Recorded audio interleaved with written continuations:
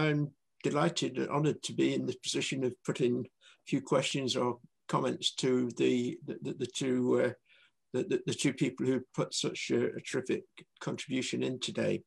And I wonder if we can start with perhaps the most difficult bit, and it perhaps goes back to, to Joyce this morning, talking about, I can't remember the exact phrase, but basically rebelling against austerity.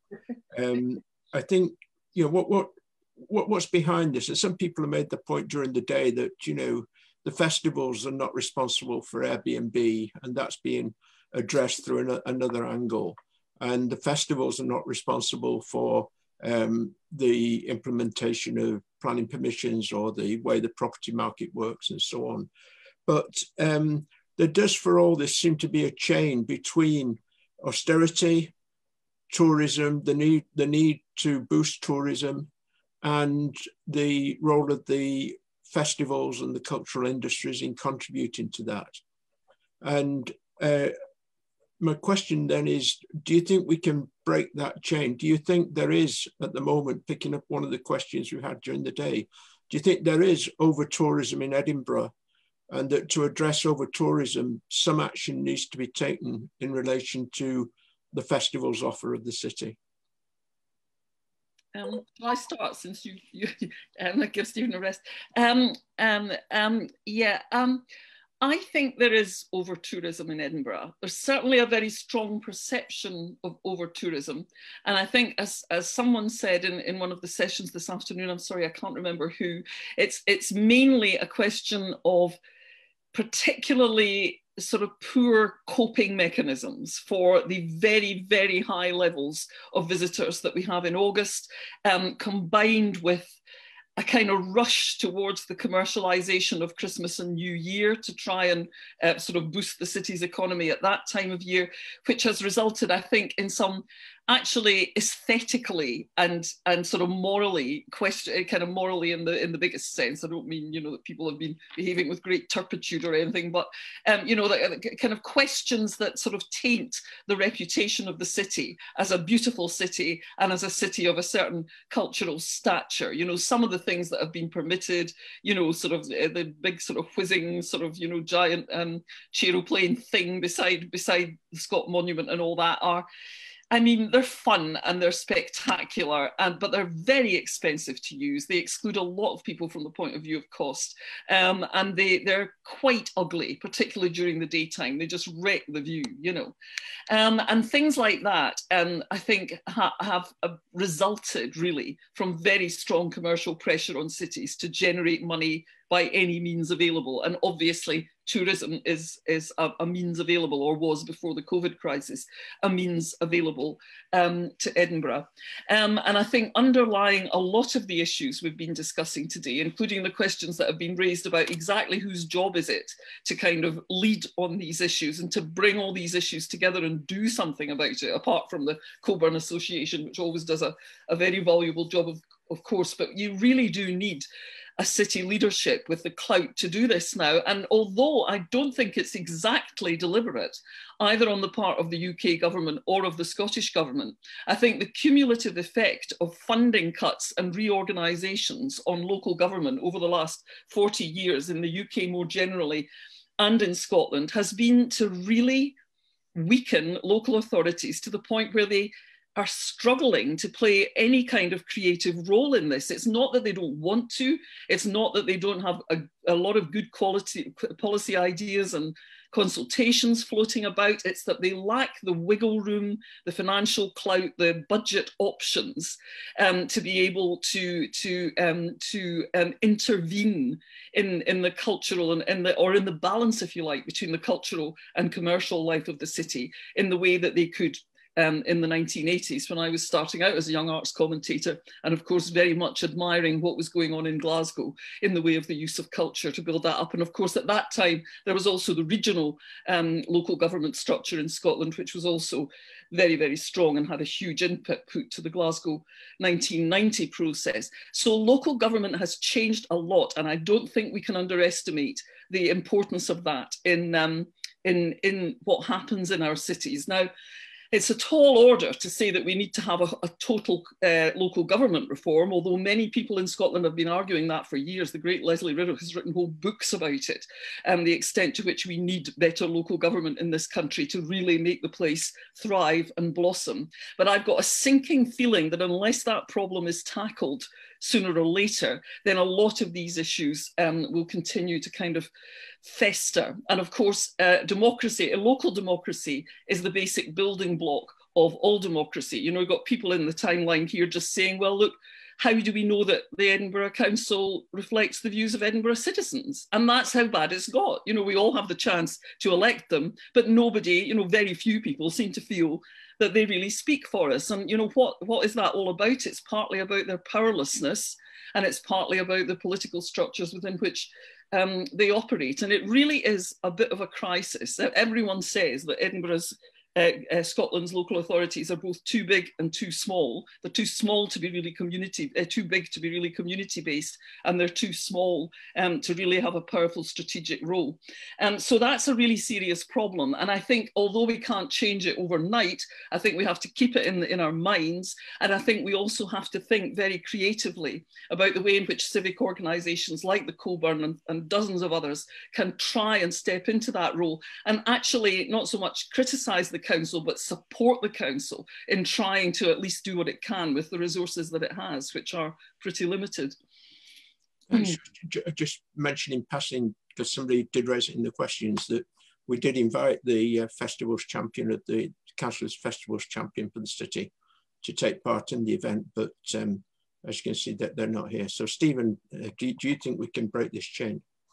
Well, I mean, I think what you've just said, Cliff, sum, sums up fundamentally the problem. I would agree with absolutely everything that, that Joyce said there. But you know, here is here's a ready-made, as Boris would love to say, an oven-ready opportunity for the council to engage with the people who really care about these issues, and they've chosen not to do it this afternoon. I think part of the issue has become, and we saw it really uh, very strongly at the City for Sale event last year, was there's a real them and us has developed between the council who feel their backs are against the wall when it comes to the festival and cultural life in Edinburgh. And those of us out here who are really keen to engage with them, you know, some of the brilliant sessions that Joyce did this morning, I mean, the, the voices are there who want to positively engage. And that last session we did on carbon as well, we're all very happy to have an open conversation. We would love the council to be part of this discussion one of these boxes on the screen to be a council representative. But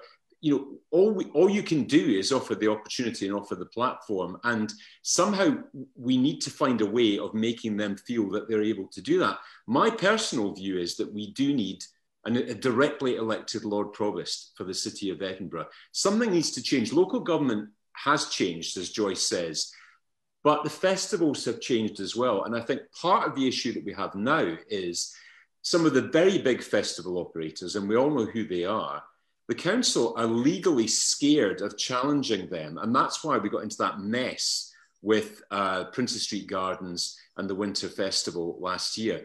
And we somehow need to step back from the brink in all of this and, and get a proper dialogue going between Cockburn Association, interested parties in, in Edinburgh, environmental groups, and the council, because I, I just think they are scared and reluctant, potentially for legal reasons, of openly engaging with us. I think it was interesting to hear Joyce talking quite a bit about the winter festivals. I agree. I think we do have over tourism in Edinburgh. And my sense of it is just that we, all of us who live and care about the city, have a threshold. And it, it, August was working fine. It was getting big and it was getting busy. But we needed some fallow period in the year when we could catch our breath and enjoy the city for what it is. And winter was that. And then along came the juggernaut of the winter festivals. And I, am old enough to remember when I first came to university in Edinburgh, walking down the Mound and watching the Lord Provost switch on the Christmas tree at the Mound, which probably was what happened in December just gone. And that was more or less it. Now, I'm not saying we should go back to those Spartan days in Edinburgh, but it's completely out of control what is happening in the city now in December. The numbers of people, the impact, the drinking that goes on. And for me, the winter festivals are just the straw that breaks the camel's back when it comes to the goodwill of people in the city. So just following that, should we scrap the Winter Festival? I, I think not. I can remember when they first started, and you see the council had more money to put into them. So they were able to commission a, a, a producer, um, um, in, in, in that particular case, Pete Irvine, who was, who was able to include a lot of Scottish creative input into the texture of the early winter festivals. And actually, it was great. I mean, if you remember when they first did the thing of, of funding the, the museums and galleries and things to open up on New Year's Day when it, the whole place used to be dead. It was wonderful, you know. So I think that the, the idea of having a, a, a kind of special Hogmanay in Edinburgh and encouraging people to visit at that time, there's nothing wrong with it. But the thing is that in pursuit of the dosh, in the to get deals with commercial organisations that can take the financial weight, the council has just gone right over the top and created something that most Edinburgh citizens find embarrassing, to be honest you know, I think. I would, too, I would just have given Peter Irvine the job permanently, Joyce, of managing the winter festivals because he did it in a way that was respectful of the city. But as soon as it gets into tendering process, as soon as it gets into the lawyers, and as soon as it gets into London arts organisations seeing uh, revenue for them at other times of the year than August, that was always going to be uh, out of the game, out of the game, out of the possibility. And I, I, for one, I would scrap in their current form. I would scrap the winter festivals. We need to go back to what they originally were. And you know, the discussion you know, where we started off with the cultural fabric of the city as it exists the rest of the year, and what makes us a World Heritage Site. I mean, no one looks at the buildings in Edinburgh. No one looks at the stuff that you protect, Cliff, during the winter festivals. There's just this you know, rush to put up as much temporary infrastructure as you can squeeze as much money out. Joyce, on you go.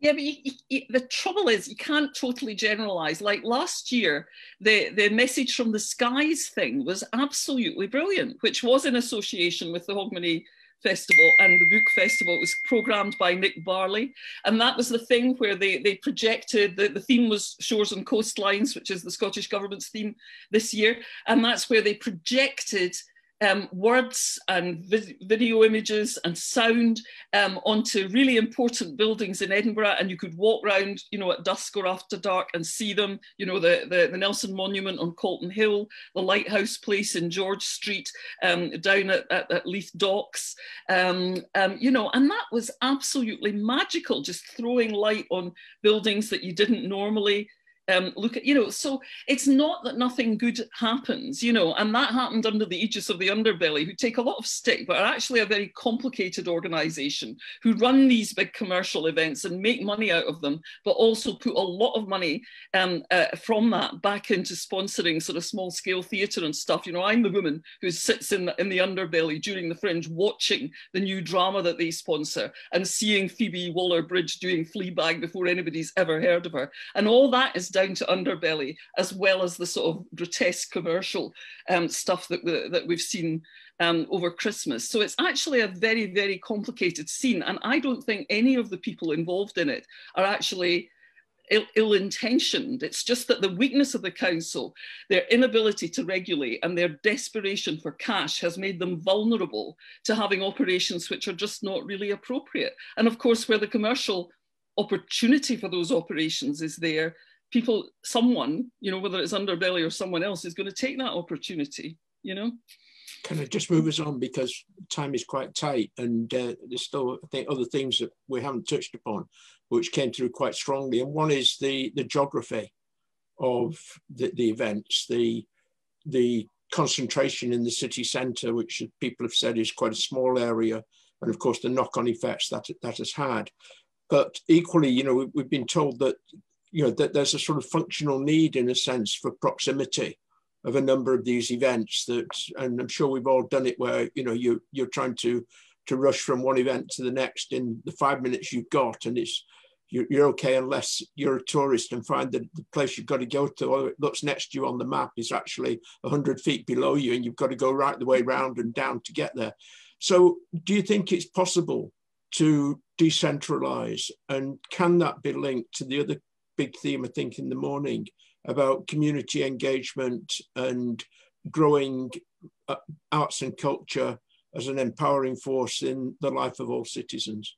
Yeah, well, Joyce knows more about this than me, but I, I, would just say absolutely, it is the only way forward. I mean, I, I live in the north of Edinburgh, down by the sea in Newhaven. Uh, you know, if, if I choose to stay here for the three weeks in August, I would have no idea there is a festival taking place in Edinburgh. There's no sense of it at all down here. It has no impact on it apart from people who want a day off the festival and come down to mooch around Newhaven Harbour. We absolutely do need to involve community arts organisations. We need to involve venues down here.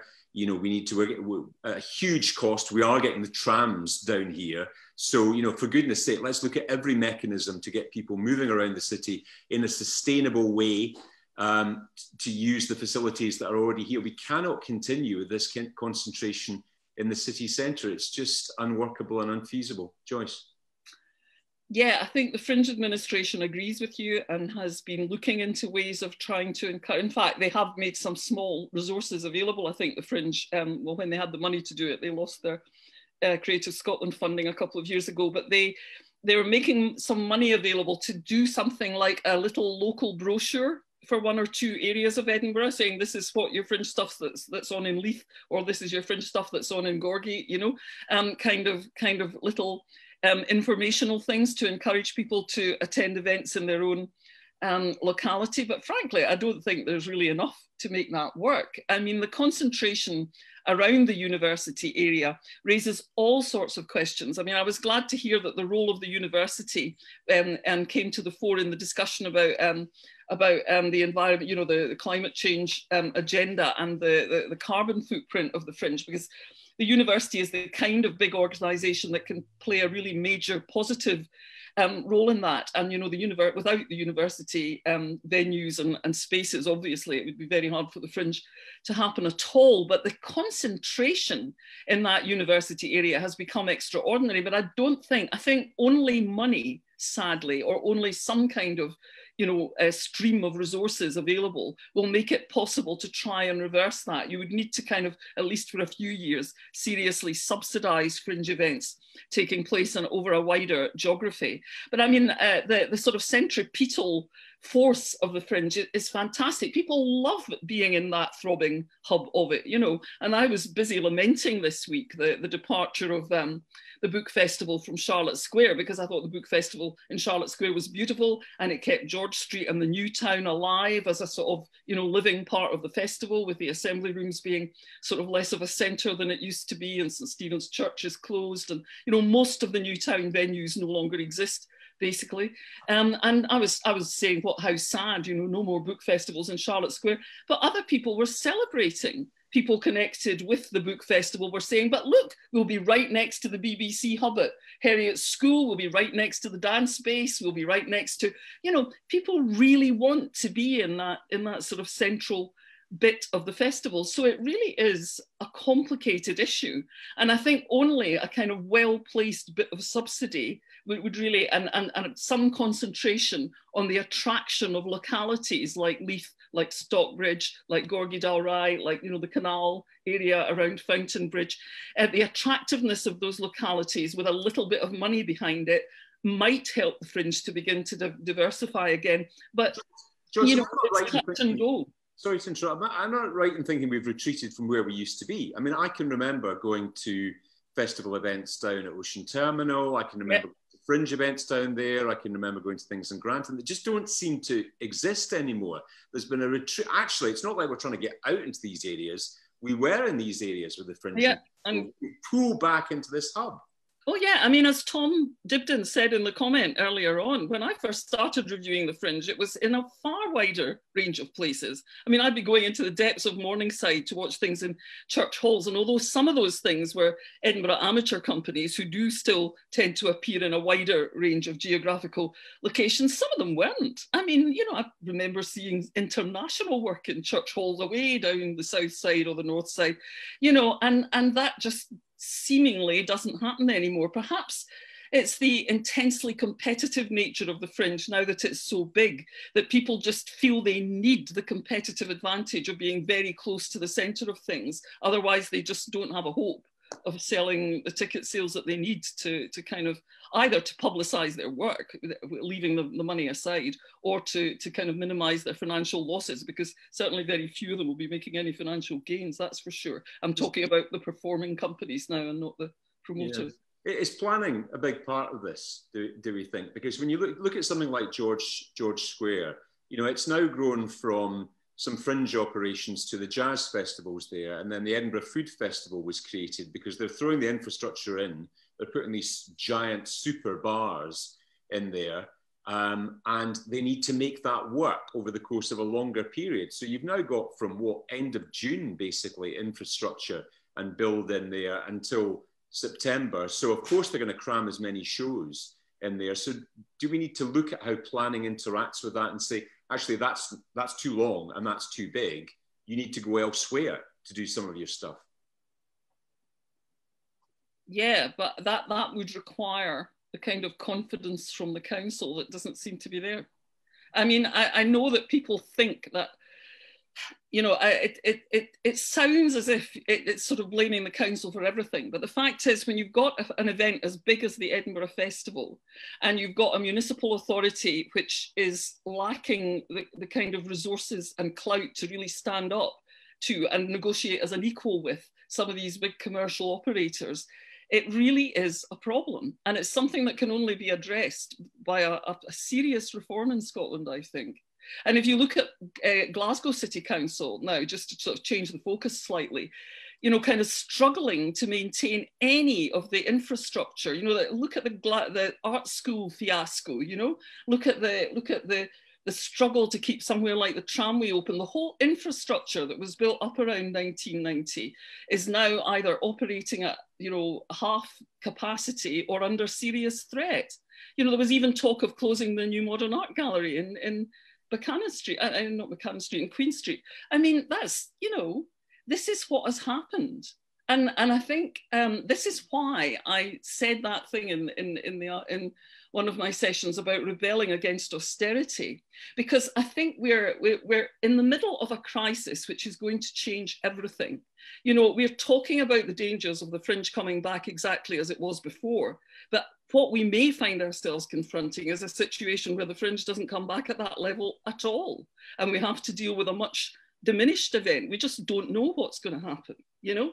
And likewise, we don't know what's going to happen in terms of government spending and finance. You know, it may be that we're looking at a decade where a far bigger chunk of the economy is dependent on government spending to survive. And if that's the case, then it's a threat, but it's also an opportunity because you can begin to be more flexible about where that government spending goes. So we're dealing with an awful lot of sort of unknown unknowns at the moment. Um, and we could be facing a situation where actually high government spending becomes the norm. And our job will be to try and get it put in directions which are really creative and supportive, you know, for, for people in Edinburgh and in cities across the country. Yeah, thanks for making those points, um, Josh, because that was what I was going to go on to about how COVID has changed things. yeah. We're very short on time, so I, want two very quick questions. Um, can I repeat the question of the day? Whose festival is it anyway? It's ours. The best thing that could have happened to Edinburgh uh, from the festival point of view is the great reset of what's happened over the course of the last year. We'd lost, we'd lost the festival. It had become something that we that was put upon us. And uh, uh, Joyce is absolutely right. What we have now is an opportunity to take take back control. Where have we had that before? but we need to. Um, it couldn't continue the way it was. We didn't want it to continue. Um, uh, people on this call I think. And uh, we now have an opportunity to change things. And, you know, I think, um, you, you, know, kudos to you and Terry for organising this. I think it is shameful the council are not on this discussion today. And um, they should be organising this. This is the opportunity to, through this technology that we've got now, to have these big conversations. We could be having a weekly conversation about aspects, areas of this. But um, it's our festival and we want it back. Yeah, um, I think Edinburgh Festival has always belonged to Edinburgh and the world. Um, it, it, it was put upon us in the first place, but we took to it. Um, the Fringe grew up around it out of a sort of community response to it and a very Scottish response to it initially. Um, so I think it, it's a city, it's a festival for the city and the world, and it's the it's the thing that in this post-war era has linked our city to the world. Now, obviously, we don't need the, those links in the same intense physical way now as we did then because of all the new communications that we have. But I still think it's a vital sort of creative um, energy link between Edinburgh and the rest of the world. Um, and I want it to survive and thrive. But I think for it to survive and thrive, we have to have some really fresh thinking about the relationship between the global and the local. How much of our global interaction can we now do without the traveling and the big carbon footprint? How much traveling and actually going and being in other places is really necessary to keep those links alive? Some of it will be necessary, but how much and why? You know, we have to have some original thinking about that. And on the other end, if we want our festivals here to have a really strong local root and strength, then I think we have to stop thinking about um, the festival city as, as, as a business of having a festival in every month of the year to attract people and keep tourism going and all that, and think more deeply about having a festival city which has a festival month or maybe a couple of festival months in the year, but which uses that for, to, to make the city a vibrant place for the rest of the year in terms of everyone in the city's involvement in, in cultural life and in self-expression. Um, and, you know, if we can do that, if we can rethink the local and rethink the global and link them better, then we will have, you know, really, you know, uh, made the, the, the, the crisis of this pandemic into an opportunity. Thanks to both of you. Some absolutely brilliant finale there from from both of you. So at that point, because we are slightly over time, um, with many thanks also to everybody who's taken part, I just hand over to Terry to to do a final wrap up. And uh, again, thanks very sincerely to, to everybody who's taken part. Uh, well, thank you very much, Cliff. And I'm sitting here in awe of that kind of final summation of what's been a, a really spectacular event. When we set out to kind of do this, it was really to ask the question, you know, uh, what, what, do we need to do? How do we need to think this going forward? And it's it's proven to be spectacular in terms of the contributions that uh, the three of you made, but in particular, Stephen and Joyce yourselves. But with all of the panelists, it's been been absolutely brilliant. Um, and the the chat and the ideas that have come through from from the audience uh, participating has been brilliant as well. Just kind of following a lot of it. So there's there's a lot of, of creative material to kind of build upon. Um, and I think it really just comes down to um, expressing, first of all, uh, the Cockburn's kind of thanks to both yourself, Stephen, and Joyce for giving up your time on this Saturday um, to, to chair the, the, the morning and afternoon sessions because you've done it just brilliantly. Um, and the event is a success because of what you've done. So thank you very much. But also, uh, I would invite all the kind of attendees in a virtual way, you know, just even in your front room to kind of thank all of the panelists who I think each and every one of them has contributed contributed to a, a really thoughtful, fascinating set of discussions across the piece. And I get the feeling that we will need to have more of these conversations going through the kind of year. And if we can play a part in helping facilitate some of those, that it's something that we're we we are here to do, um, and and we will carry forward. So it would be remiss of me not to kind of end up by saying that um, what we would really seriously hope for those of you who are still with us and attending is please consider kind of joining the Cockburn. You can go onto our website um, and become a member. Or please think of giving a donation. It does cost money, just as with all of the cultural organisations as well. Um, or even if just on the spur of the moment, you can send us a donation by texting Edinburgh 70085. That's Edinburgh 77. 70085. Um, we would certainly appreciate your support. Uh, and it just uh, is my final task again to thank everybody, thank all of the attendees for, for giving up their time. Um, the festivals, I think, at the end of it, are part of Edinburgh. Uh, they're essential to kind of all of us in terms of not only the city, but also our own cultural well-being. Um, but it's about reflecting and creating a product going forward that yes. will work kind of with us and for us. Exactly. Thank you very much. Thanks to the Cockburn for a really wonderful event. It's been so interesting. Thank you very much as well. Um, and uh, wherever you're heading off to, please stay safe um, and follow the rules. I think I have to say as well. That's that's my Scottish government message to you all. So, thank you all kind of very much.